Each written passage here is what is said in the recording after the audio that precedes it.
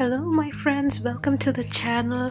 If you love autumn colors, you're going to love today's video where we draw some super easy autumn doodles using nothing but brush pens in warm, earthy tones. So grab your pens and a piece of paper and let's get started. The first one is a simple maple leaf. I mark an X as a guide and use that guide to draw a five pointed leaf just around the guide and put a stem at the base. Just fill it in with some color. Now I will be using a black brush pen to outline my doodles today there's something very joyous about drawing lines with a brush pen because you can vary the thickness of the line depending on the amount of pressure that you apply. Um, so it's really a lot of fun. Maybe I'll talk more on that in some other video. Let's draw some oak leaves now. So you start with a center line and draw this messy wavy shape around it.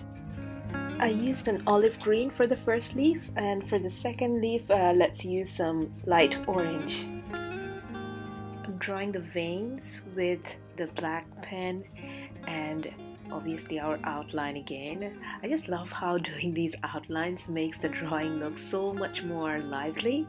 How about attaching an acorn to one of the stems? Just using simple basic shapes, color combination of brown and black. I'm drawing a heart-shaped leaf. This is such a simple yet so pretty. It's, um, it's one of my favorite things to draw. Little stalk and some veins and it's done. How about some apples? We start with some C-shaped lines, a pink circle in the middle for where the seeds will go, a little stalk and a green leaf, and that's our apple.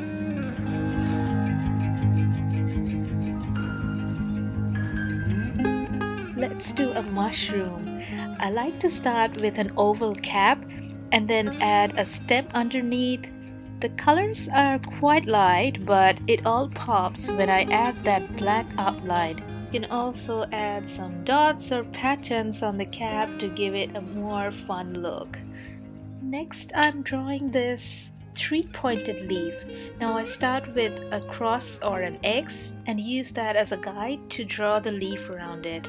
I'll fill it in and then we do our outline and the veins and a little stalk.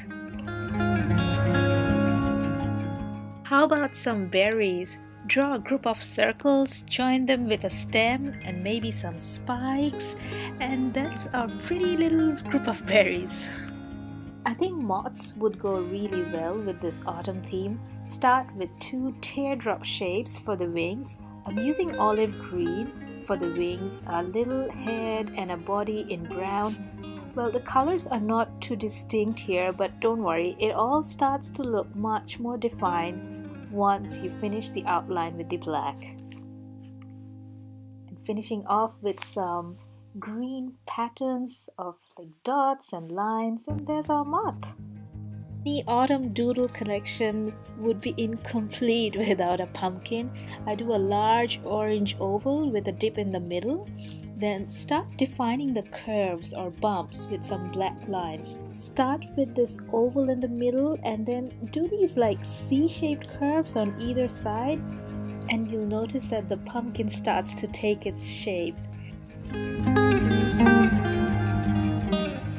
finishing off the pumpkin with a green stalk. I feel that something purple would look really nice sitting next to the orange pumpkin.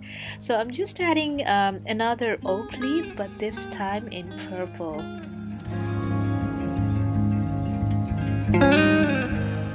Next, how about a snail?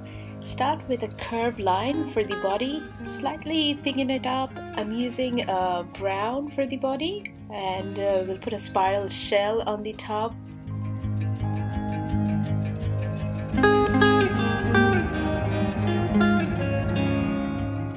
Eyes and the mouth and uh, that's our snail. I'll also decorate the shell with some spirals and maybe uh, some line patterns as well. I think that'll make the snail look very pretty. Next a pear. Small at the top wider at the bottom. Fill it in. I'm using olive green here. You can leave a bit of a highlight as well if you like. And uh, we'll put a little stock after we're done with the outline and that's our cute little pear classic leaf next. Two C-shaped curves on either side of a center line outline and add some little veins and there we are. Our final element friends and that's a group of berries on a stalk. However as I'm looking at the page as a whole I do see some empty spaces in a few places. So I'm just gonna fill up those places with a few more elements maybe another maple leaf because they're so pretty maybe another acorn but I don't want to overcrowd the page though. Finally I like to add some dots and sparkles to tie up the little drawings together. I've had so much fun doing these autumn doodles. I hope you enjoyed them too. Don't forget to hit the subscribe button and I'll see you next time.